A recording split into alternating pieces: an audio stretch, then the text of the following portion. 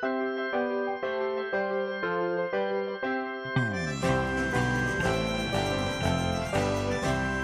にちは。イケメンブラザーズです。リーダーのアパマンショップ栄店加藤です。今度は。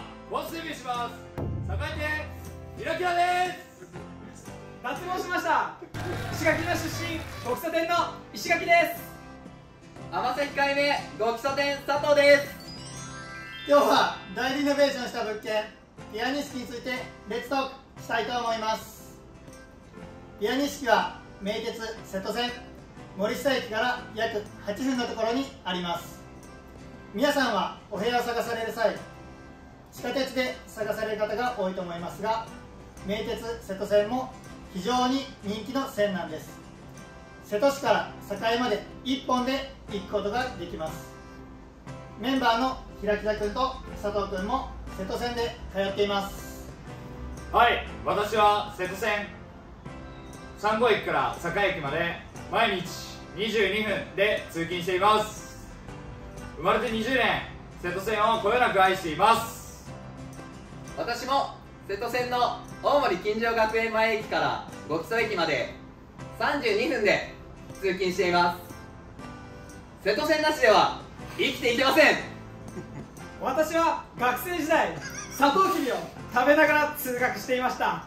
パイナップルも最高です。甘さ控えめでいいですね。名古屋は地下鉄が注目されがちですが瀬戸線も非常に便利な線なんです。ピアニ式最寄りの森下駅は始発終点の栄駅まで約6分自転車で栄方面まで15分で行くことができます。